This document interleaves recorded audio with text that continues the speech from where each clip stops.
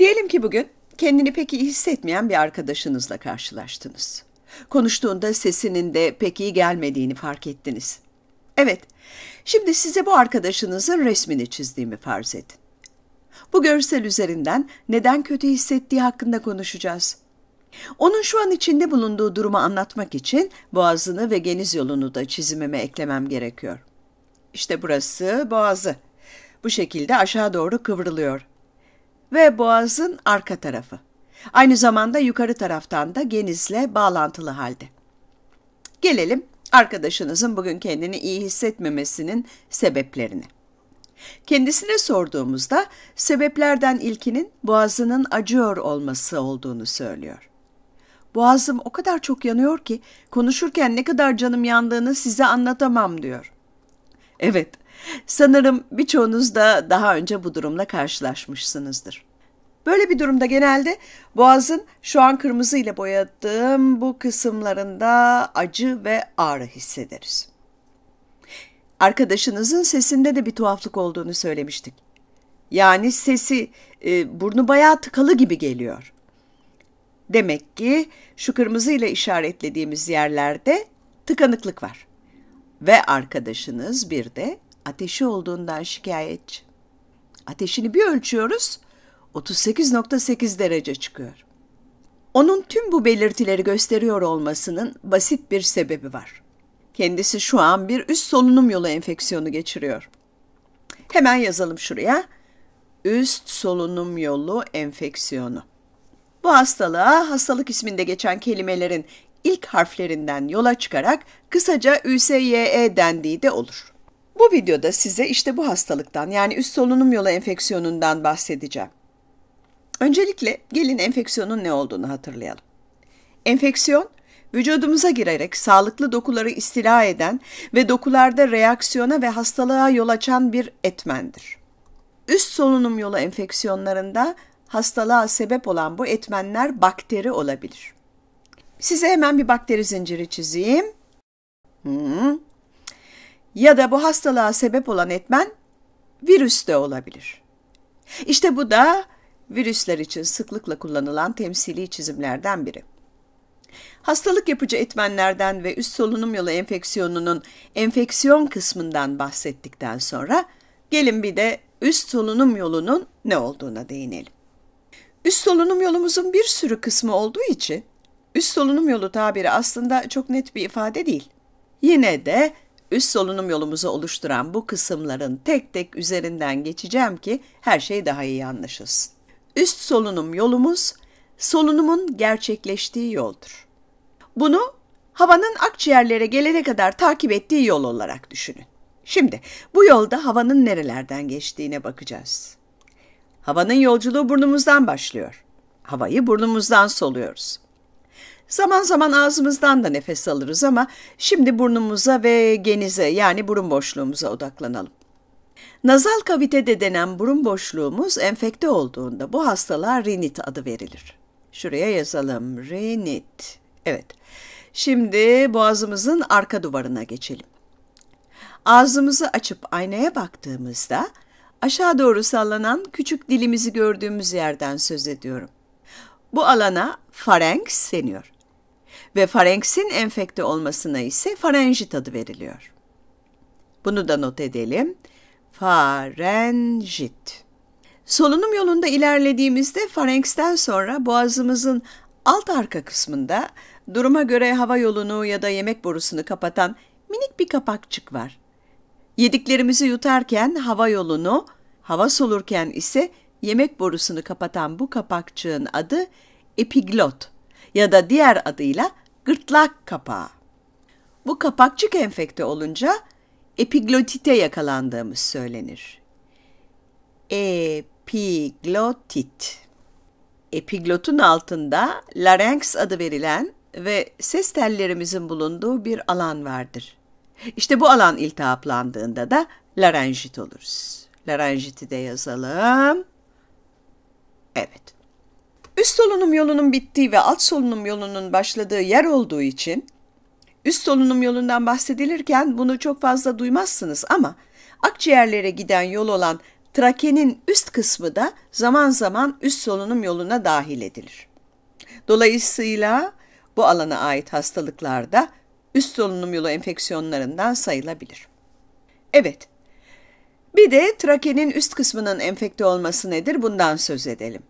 Bu hastalık trakeit ya da soluk borusu enfeksiyonu olarak adlandırılır.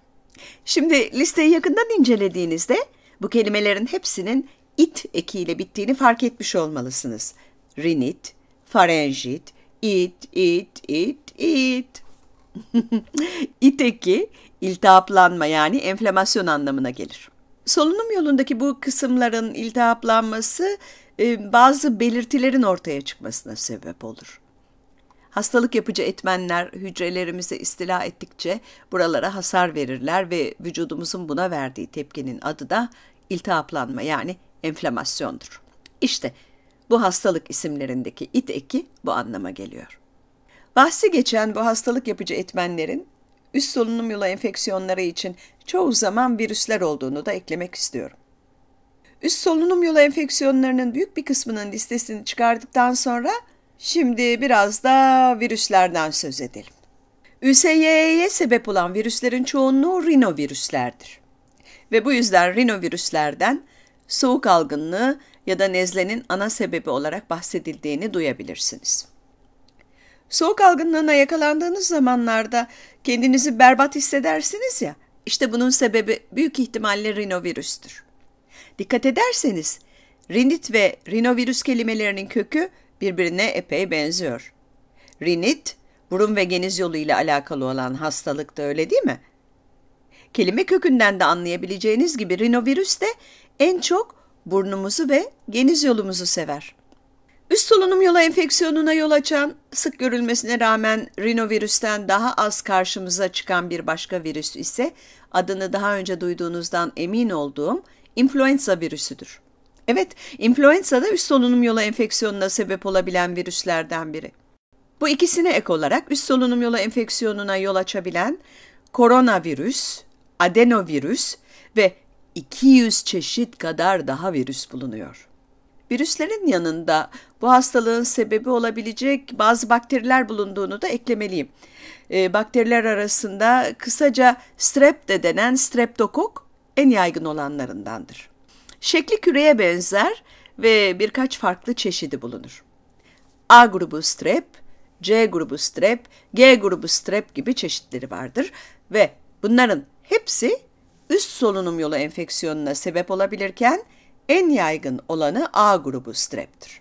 Şimdi size bir şey söyleyeceğim. Hatırlarsanız videonun başında hasta olan bir arkadaşınızdan ve üst solunum yolu enfeksiyonunun ondaki belirtilerinden söz etmiştik.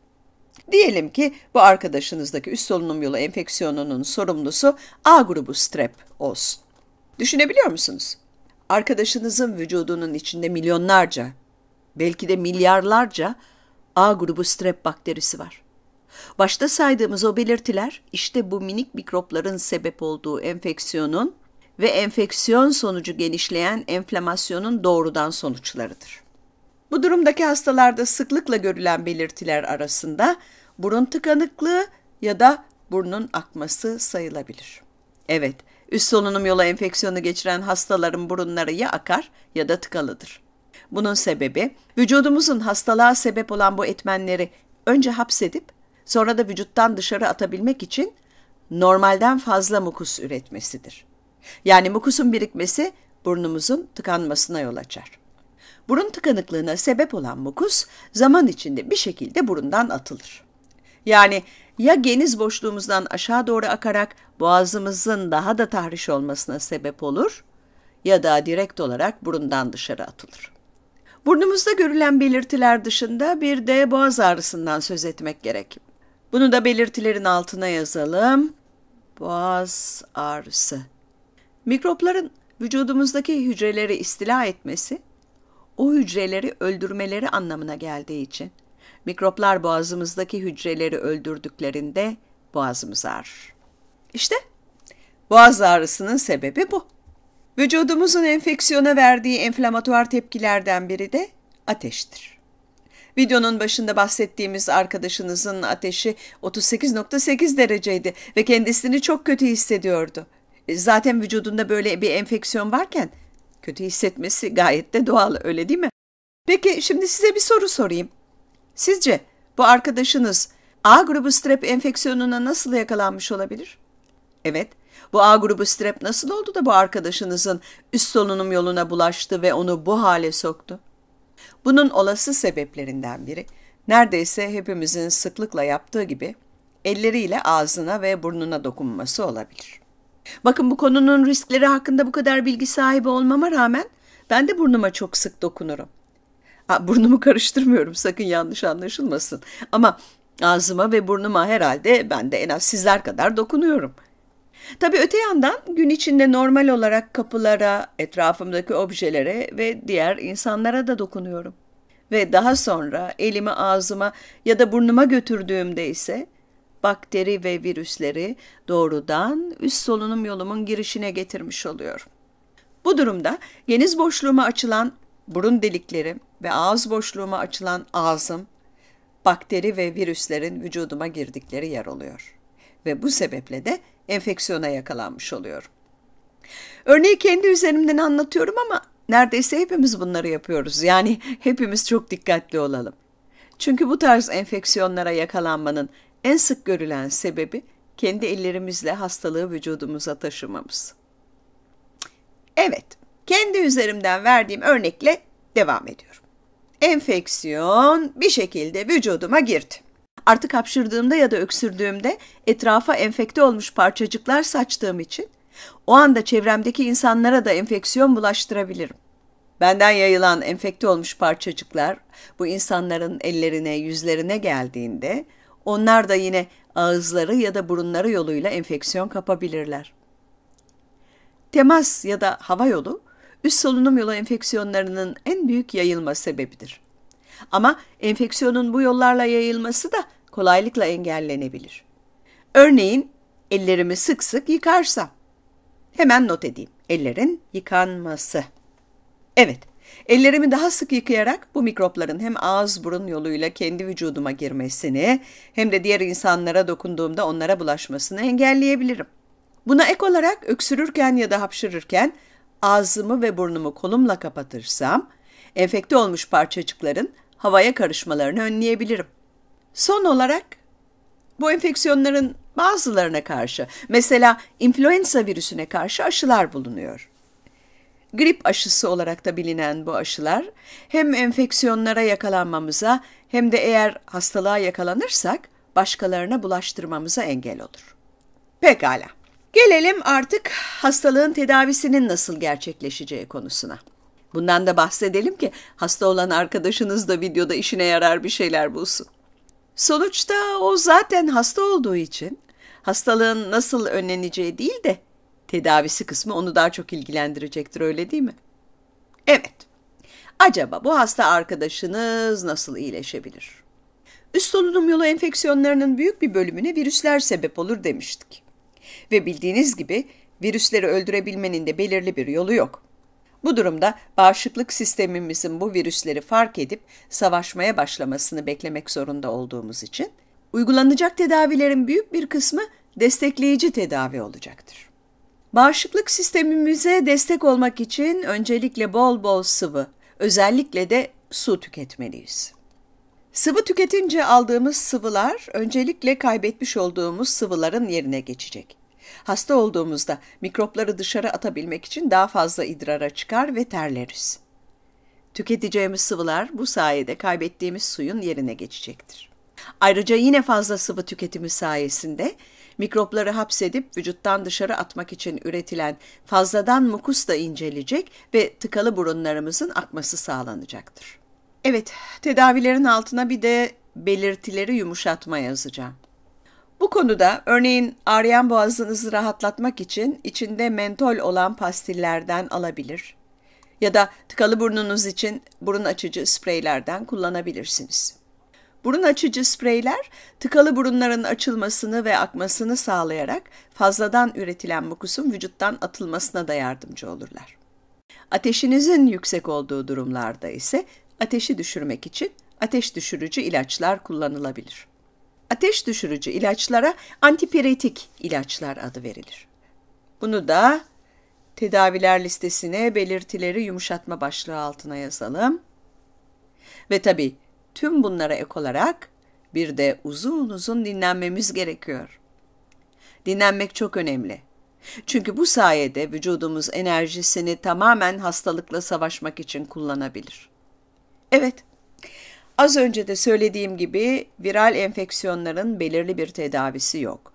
Ama bu destekleyici tedavileri uygulayabiliriz. Bakteriyel enfeksiyonlarda ise antibiyotik kullanılır. Fakat üst solunum yolu enfeksiyonlarının hemen hemen hepsine virüsler sebep olduğundan tedavilerin çoğunda antibiyotikler faydalı olmayacaktır. Yine de A grubu strep enfeksiyonu gibi bakteriyel bir enfeksiyon söz konusu ise antibiyotik alabilmek için kesinlikle bir doktora görünmeniz gerektiğini unutmayın.